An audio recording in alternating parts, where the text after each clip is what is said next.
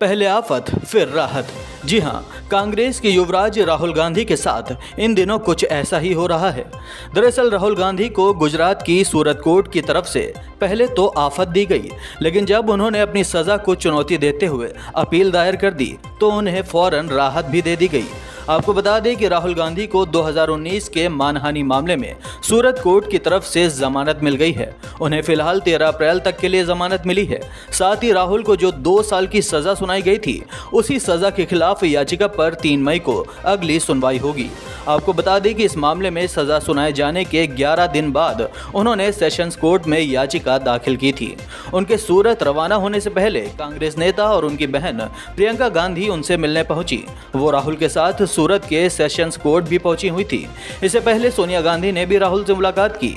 उनके साथ कई दिग्गज कांग्रेसी नेता भी मौजूद रहे। बहरहाल, राहुल गांधी को मिली जमानत पर सत्तारूढ़ बीजेपी की तरफ़ से तंजनात्मक प्रतिक्रिया सामने आई है। बताया गया है कि राहुल गांधी कोर्ट में चुनौती देने नहीं, बल्कि माफ़ी मांगने गए हुए थे। इस माफ़ी का असर यह हुआ कि कोर्ट उन पर जरा नरम पड़ गया। दरअसल ऐसा इसलिए कहा जा रहा है कि राहुल गांधी ने अपने एक बयान में साफ़ किया था कि वो माफ़ी नहीं मांगेंगे। अपनी इस बात को कहने में उन्होंने वीर सावरकर का ज़िक्र किया था। उन्होंने कहा था कि मैं कोई सावरकर नहीं हूँ, जो माफ़ी मांग लूँ।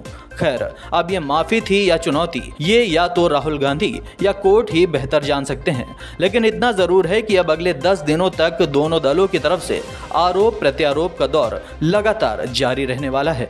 Desk report, news time media.